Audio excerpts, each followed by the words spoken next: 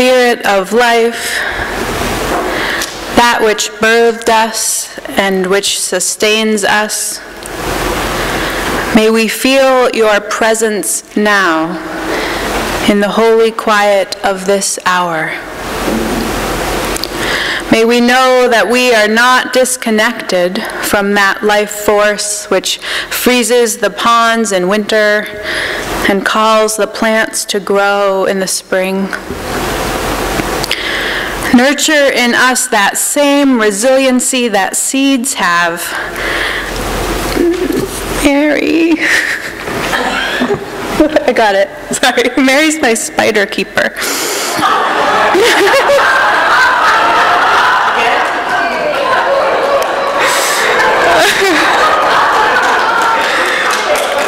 Thank you. My folks know I have a little phobia, and the universe is trying to rid me of that by visiting me periodically in the pulpit.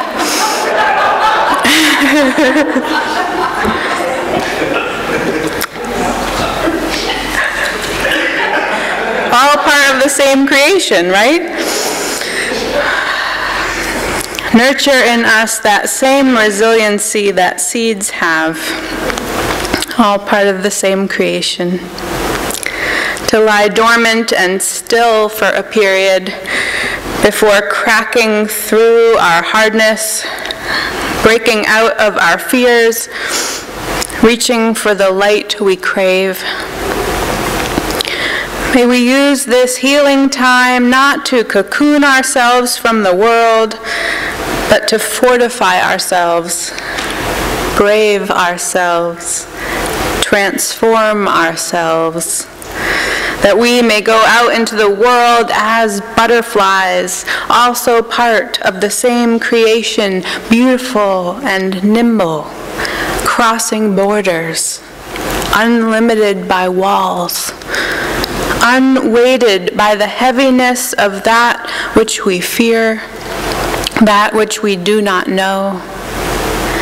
Do not let the vastness of the world be daunting to us, but rather let our connection to the earth remind us of our connection to each one on it. We are all part of the same creation. We belong to each other. Amen.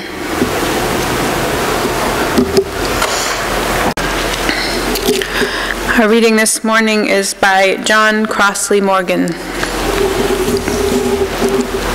I was taking a morning walk down a path outside the Tintern Abbey in Wales when I discovered a rather small but sprawling tree, its branches beckoning to travelers who might rest under its shelter. I crawled under the branches and sat quietly to watch the morning sun break across the ancient abbey sky. It felt safe and even sacred there, a place you might go to rest and reflect on the mystery of life. I sensed the presence of others who had sat in that spot before. Later over lunch, I spoke with a local resident and told him how I had felt sitting under that tree. He looked at me and said quietly, It's called a thin place. I had never heard the name before, so he patiently explained that to the Welsh, a thin place is a very special place, a sacred spot where you feel a presence so deep and mysterious that you have to stretch language to describe it. That sounds like what inspires poetry, I laughed. Maybe that's why the Welsh are such good poets, he said. In the months that followed, I became more aware of thin places in my life, whether in my backyard garden or by a river. I came to understand that once you feel the power of thin places, you tend to experience them often in places you might have missed before. More surprisingly, I learned that when you carry a thin place in your mind and heart, You can go there whenever you feel the need. I did not so long ago before I was wheeled into surgery. Scenes from a Welsh countryside before me rather than the white gowns of nurses and doctors. Now I carry with me the idea of a thin place where the veil separating this reality from another is temporarily lifted so faith and imagination can catch a fleeting glimpse.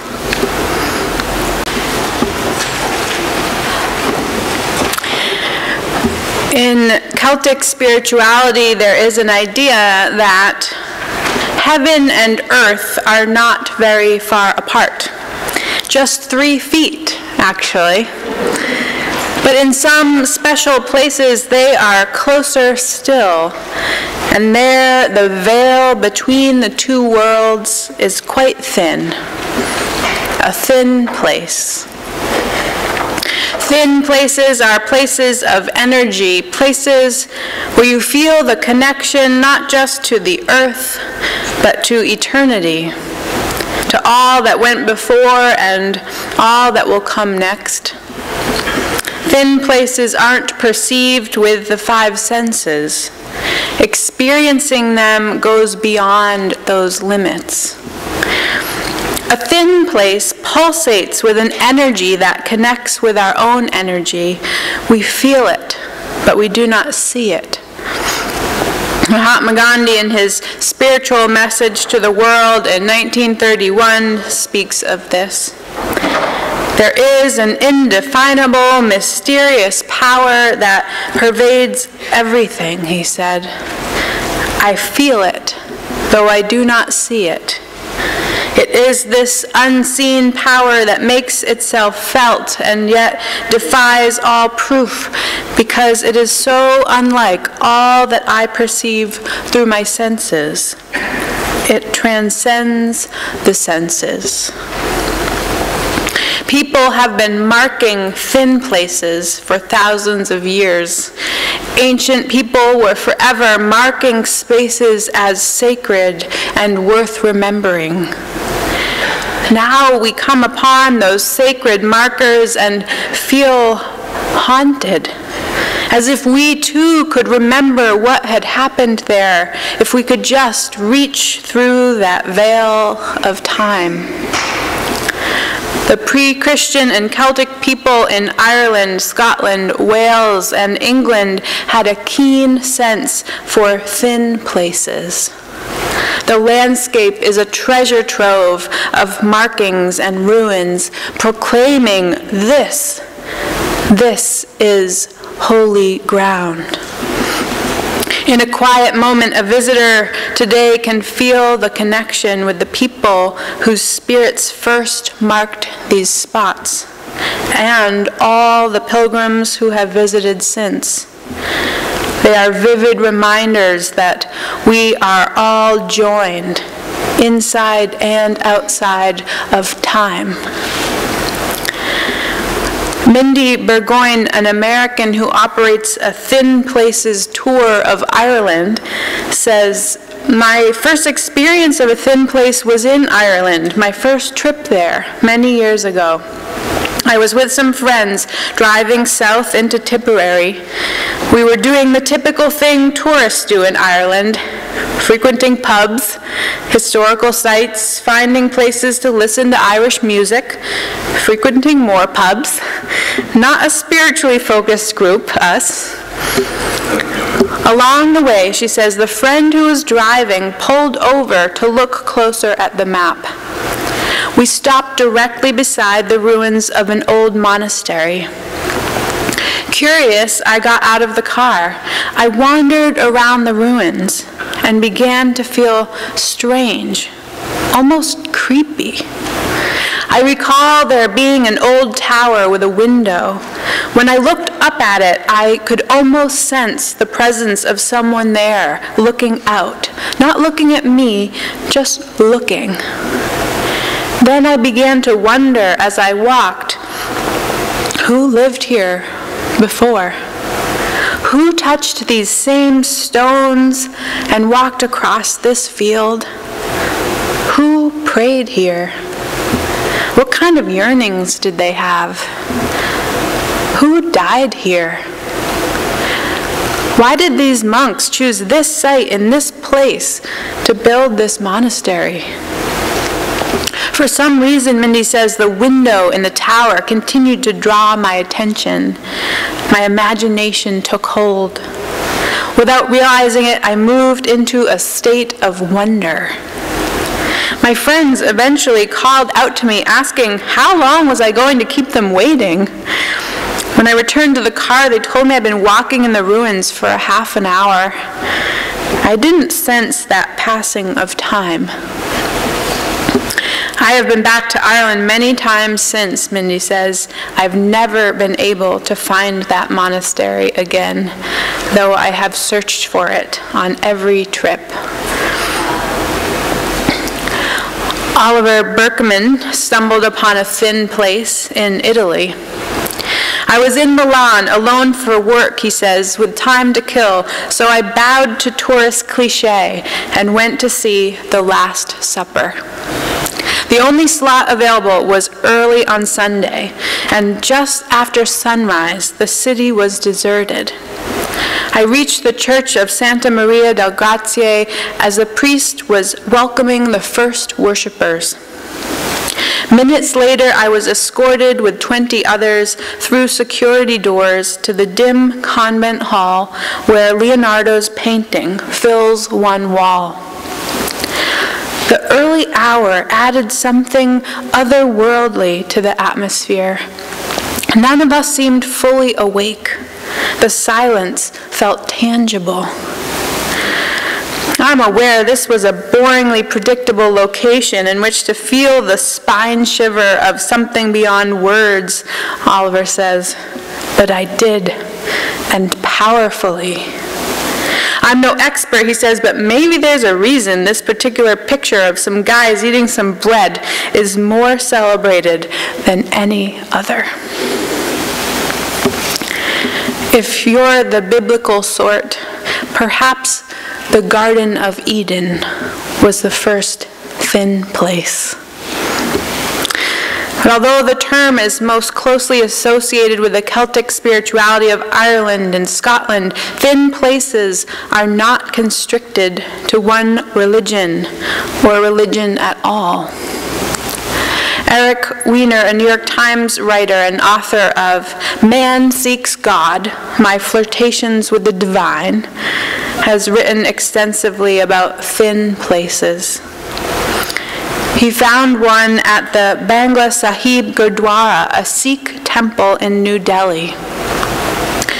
The temple owes its thinness, he says, in part to the contrasting thickness amassed outside its gates. The press of humanity, the freestyle traffic, the unrelenting noise, and in general the controlled anarchy that is urban India. He describes the feeling of entering the temple. We stepped inside the gates of the Gurdwara and into another world. The mesmerizing sound of a harmonium wafted across the reflecting pool. The white marble felt cool on my bare feet. The temple compound was not devoid of people, but this was a different sort of crowd. Everyone walked to the edge of the water, drawn by something unspoken, lost in their solitary worlds together. At the Gurdwara, time bursts its banks, he says. I was awash in time. That's a common reaction to a thin place. It's not that we lose all sense of time, but rather that our relationship with time is altered, softened. In thin places, time is not something we feel compelled to parse or hoard. There's plenty of it to go around. Thin places are often sacred places in the more traditional sense, a cathedral, a mosque, a temple, someplace others have felt the opening to the eternal and built an altar there. But they can also be a park, a canyon, a set of stones propped up in a circle. But don't count on guidebooks or even friends to pinpoint your thin places. To some extent, Eric says, thinness, like beauty, is in the eye of the beholder. It can be so disappointing when we don't feel what we are expecting to feel when we are visiting a place others have named as thin or special and sacred. I remember when Lisa and I traveled to Sedona, Arizona, and I heard about vortexes. And I asked, how can you find these sacred places? And people said, you'll just know when you are in one. And so every day as we walked out into that red rock, I sort of walked like this, waiting for that feeling. I never did feel it. I was, of course, awed by the Grand Canyon, but if you'll forgive me, I never did get that sense of a thin place there, although I know others have.